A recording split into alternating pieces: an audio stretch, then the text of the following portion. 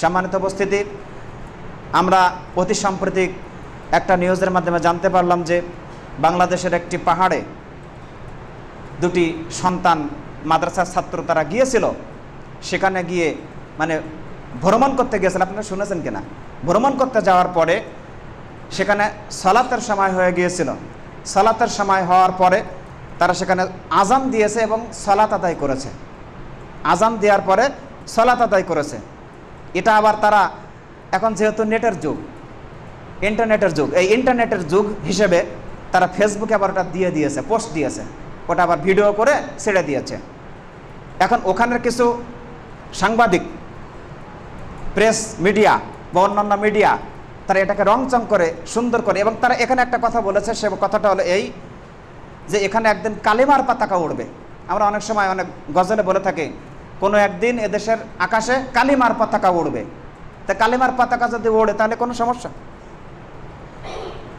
আমরা তো হিন্দু মুসলমান মিলে, অনেকেই হিন্দু এবং মুসলমান মিলে বাংলাদেশের মধ্যে আছে, আমাদের মধ্যে কোনো দাঙ্গা হাঙ্গামা নেই, আছে কি? হিন্দুরা তাদের মতো কাজ করে, আমরা আমাদের মতো কাজ করি।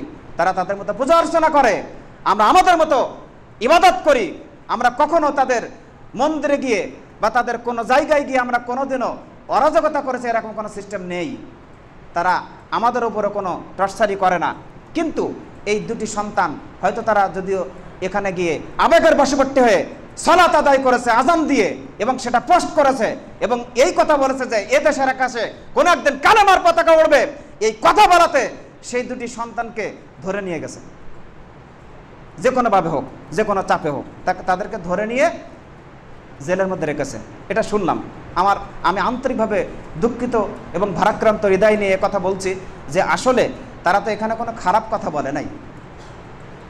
সম্মানিত উপস্থিতি, বিশেষ করে আমি যারা দায়িত্বশীল রয়েছে তাদেরকে উদ্দেশ্য করে বলব যে আপনারা বিষয়টি সুন্দর করে তদন্ত করে এই বিষয়টি আপনারা দেখবেন। আল্লাহ তাআলা আমাদের এই তফিক দান করুক। বিশেষ